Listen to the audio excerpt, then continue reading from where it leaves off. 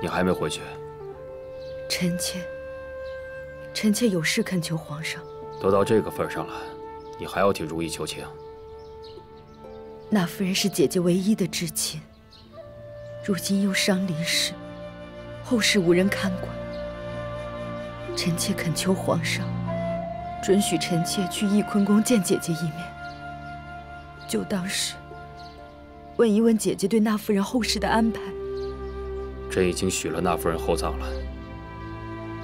皇上既然已经厚葬了那夫人，可见也视她为至亲。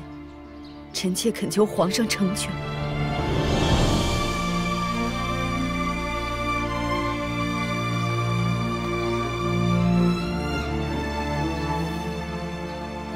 解完了，立刻去圆明园。谢过皇上。姐姐，皇上要我立刻去圆明园，为永琪主持后面祝祷的事。你也帮我给永琪每日都上炷香。我会的。娘娘，该吃药了。一会儿一会儿。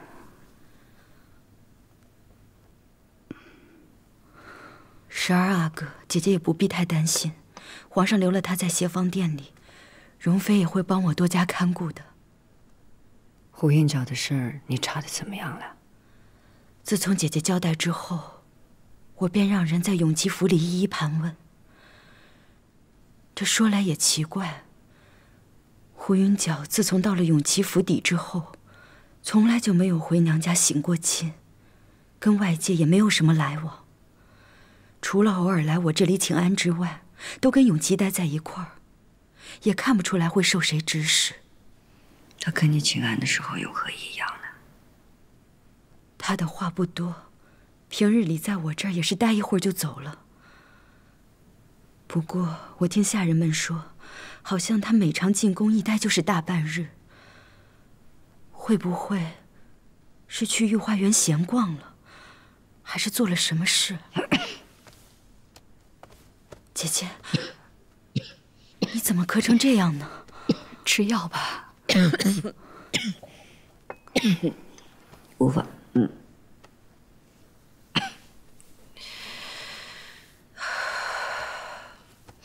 那他和永琪在一块儿的时候如何？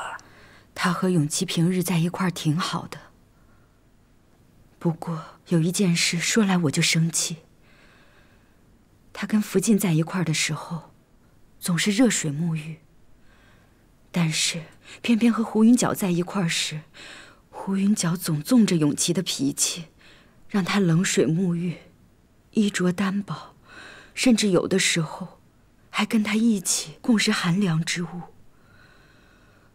永琪的身子哪能这样受寒、劳累？他这样伺候永琪，不就是要他的命吗？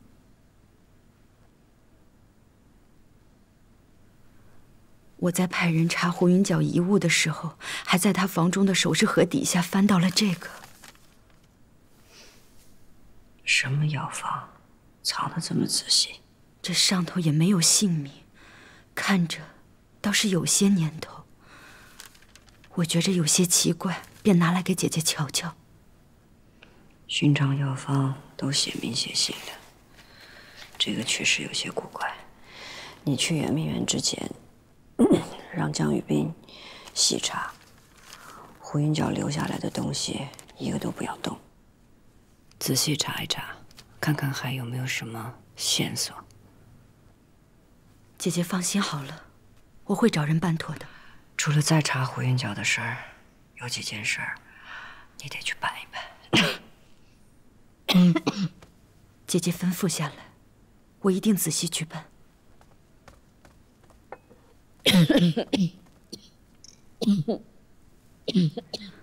一直这么渴吗？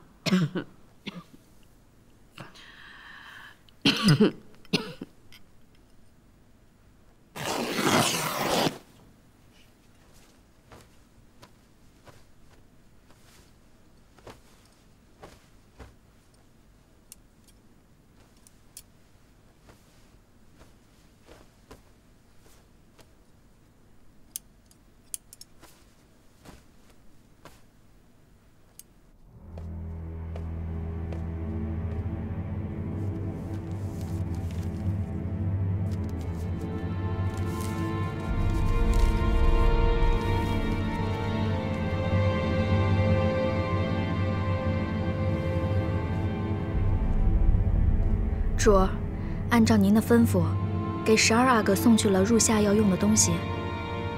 嗯于妃传了翊坤宫娘娘的话来，你赶快去祈福寺找到我们的族人，让他们转告阿爹，按照信上所写，找到发配边地的这个人。是。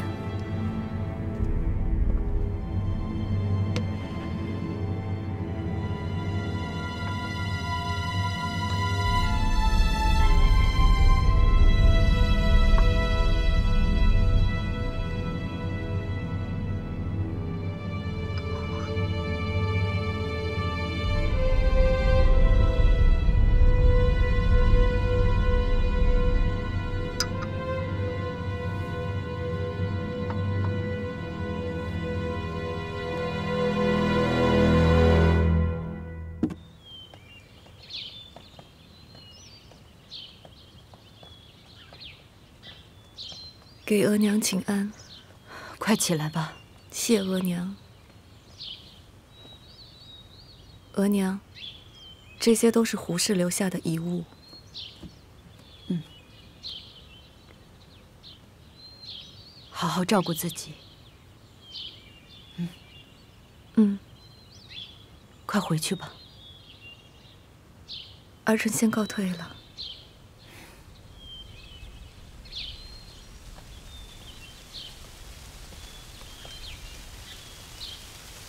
李玉，胡银角的遗物都要仔细一一彻查。是。还有，往来圆明园跟紫禁城之间传递消息的事，全麻烦你了。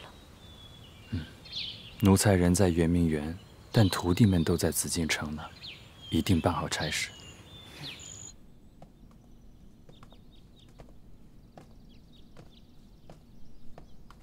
皇上。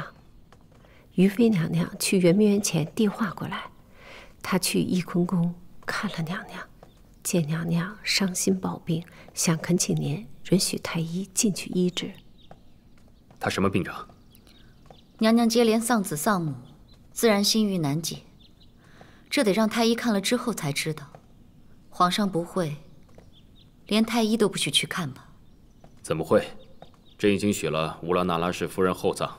让太医给他瞧瞧也是无妨。那也得派个可靠的太医别让什么人混进去害了娘娘。皇上那奴婢就安排江太医去翊坤宫吧。好。